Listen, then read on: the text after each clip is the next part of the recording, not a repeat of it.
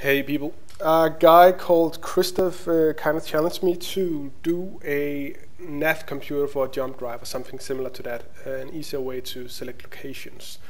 And I didn't think it was really possible to do, but I have been able to sort of make it work. So uh, let's take it for a spin. So yeah, this is the, the interface. We've got a list of our destinations over here. I can change up and down with them with the buttons here. And then an info screen in the middle. So let's do a short jump so we don't have too long of a cooldown. Let's jump to Mars. So we're going to select Mars, press our alignment button, the ship will align, tell us the distance and amount of jumps. And it will say it's aligned and ready to jump, so now I press 1 to jump.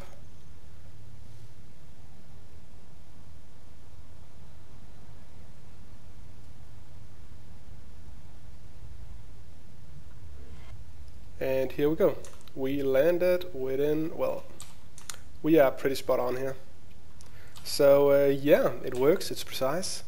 Uh, in a few seconds, let's see, we have a 19, 17 seconds remaining on recharge. I'll be able to jump to Earth. The basics of how this works is that since jump drives are an absolute nightmare to work with, I, uh, I cheated a little bit.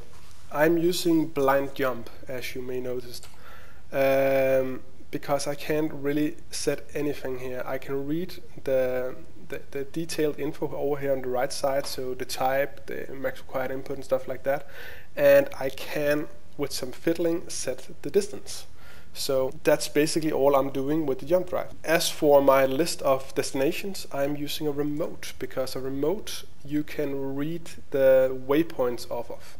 So basically any waypoint in here will be added to my list of waypoints down here I can jump to. So if I, for example, were to say new from current position, call it NAS finance tick, uh, I can go into the remote and oh yeah, add that and it appears at the bottom of our list and is selectable. So if I were to align to that, it will say yeah, very, very little since we're on it, so it can't really do anything with that. And uh, yeah, let's do a bit longer of a test jump. So what's furthest Earth or Moon? Let's do the Moon. And we are aligning distance 1914 kilometers. Ready to jump.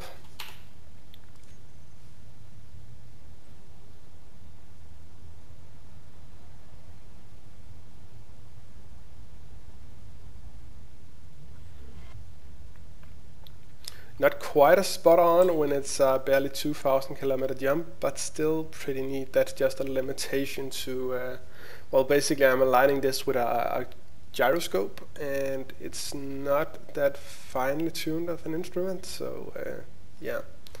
But uh, it works, and now we have six minutes remaining, and if I try to align again, it will say it's locked out. It will not allow me to do so because we're charging, so we can't jump or do anything. Anywho, if you just wanted to see it work and try around with it, the link to the save game is in the description below. Uh, what I'm going to do now is try to go over how it works and how it doesn't work. This is very buggy. This is not made for anyone to just plug the code into their ship and have a jump drive. This works very specifically to this ship.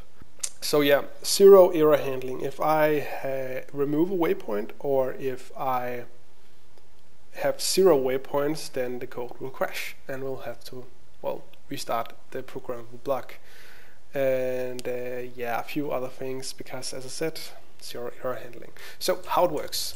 Uh, Pythagoras and triangles, basically. These uh, batteries here, so there's a center one, front one, a rear one, a right one, and a top one. There's also a bottom one, but I don't use that. I basically use those to form a triangle. So I get the position of the center battery, the right battery, and my target. Now I have a, a, a triangle. Um, basically, I have three points, so it's you can see it as a triangle. And because I have three points, I have three lengths, so three sides. And with those three sides, I can get the angle of any side I desire uh, in regards to my origin and my target. So I use that to get uh, an angle between 0 and 180 degrees. And then I have a battery on the front and behind to basically determine is the target behind me or not because I can't get an angle above 180 degrees. So I'm using that to basically invert my values kind of to tell if it's behind me.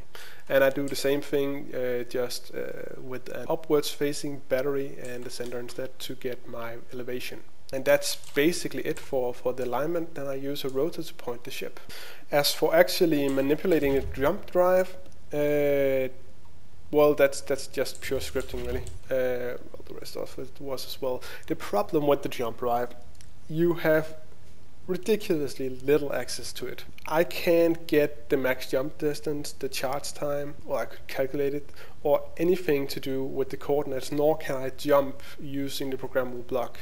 Using a bit of fiddling, you can adjust the distance um, but there's not even a direct method of accessing that. You'll have to, to manipulate, uh, uh, basically use a set value, uh, so that's a pain in the butt. And um, yeah, setting the distance is, is just that, and it's pretty simple, as I said. If I have uh, two points, uh, so my origin and my target, then I can calculate the distance between them, and uh, Bob's your uncle. Um, I can set the precise jump distance I need down to uh, I think it's about less than a meter's precision, but uh, yeah, due to uh, the gyroscope and stuff like that, I won't get that at extreme ranges, but it will always land within about 100 meters of your target. Oh, and uh, last thing, uh, it also does, well, it doesn't do multiple jumps. It tells you if you're out of jump distance and how many jumps you will need to reach your targets. So I'm just going to speed ahead for a recharge. Alright, so let's do the alien planet there. And if we try to align to that, it will align of course, but it will say that distance is blah and number of jumps is 3 because we need to jump 3 times to get there. So uh, yeah, that is the final feature I think. As I said, really not um, suitable for anyone to just plug it in unless they understand the, the uh, idea behind it and or is able to manipulate the names in a script. But yeah, it's not. It, it doesn't use a ton of blocks. Um, as you can see here, I got my five battery blocks, uh, cockpit, jump drive, remote, and that is it. Um, oh, and a gyro. So if you can change the names up here to whatever you're using and you're setting it up in the same configuration, then yes, it will work. Um, you just got to keep that in mind.